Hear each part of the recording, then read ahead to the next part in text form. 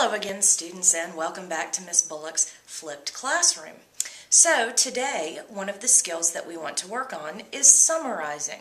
So today's lesson will be on the simple summary. Go from this to this in less than five minutes.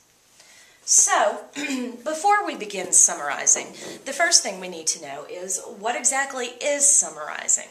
Well, summarizing is giving a short statement of the important points. That's all. We're just taking all of the extra stuff out.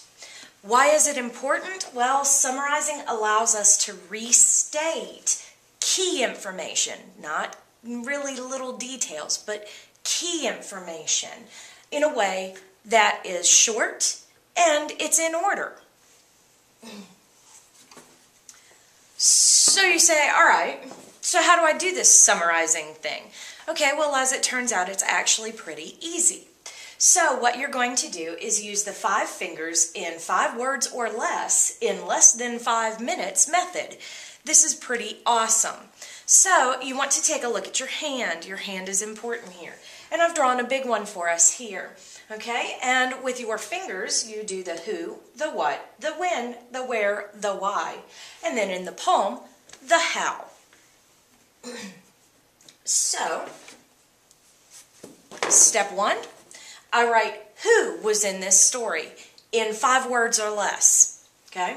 I write what happened in the story in five words or less. This one's going to be the hardest one to do in five words or less. When it happened in five words or less. You can probably get this one in in three words. Where it happened in five words or less. Again, you can probably get this one in one to two words. And step five, write why it happened in five words or less. That one's going to be a tricky one. It'll take you probably close to all five words. And step six, write how it happened in five words or less. Again, that one's probably going to take you your five words. So, after all of that, put five minutes on a timer. That's all the time you have. And then you begin this. What next?